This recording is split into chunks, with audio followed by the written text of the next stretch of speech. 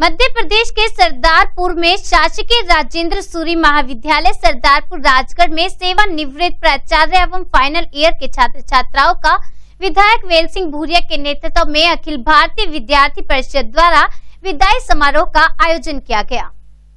उनतीस मई को शासकीय राजेंद्र सूरी महाविद्यालय, सरदारपुर, राजगढ़ में सेवानिवृत्त प्राचार्य एस एल मंडलोई एवं फाइनल ईयर के छात्र छात्राएँ जो महाविद्यालय छोड़कर अन्यंत्र संस्था में जाकर अपना अध्ययन करेंगे। उनका विदाई समारोह का आयोजन महाविद्यालय में सरदारपुर विधायक वेल सिंह भूरिया के नेतृत्व में अखिल भारतीय विद्यार्थी परिषद द्वारा आयोजित किया गया।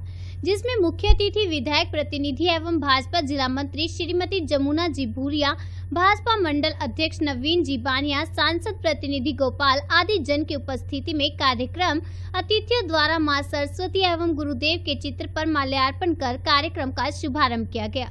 कार्यक्रम में पधारे सभी अतिथियों का अखिल भारतीय विद्यार्थी परिषद द्वारा स्वागत किया गया, जिसके पश्चात सेवानिवृत्त प्राचार्य एस एल मंडलोई को साल श्रीफल एवं प्रतीक चिन्ह भेंट कर जमुना भूरिया एवं अतिथियों द्वारा सम्मान किया गया।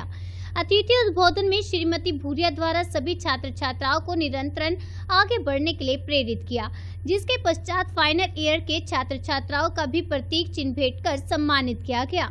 कार्यक्रम का आभार दशरथ द्वारा माना गया। कार्यक्रम का संचालन शुभम चौहान एवं शिवानी द्वारा किया गया।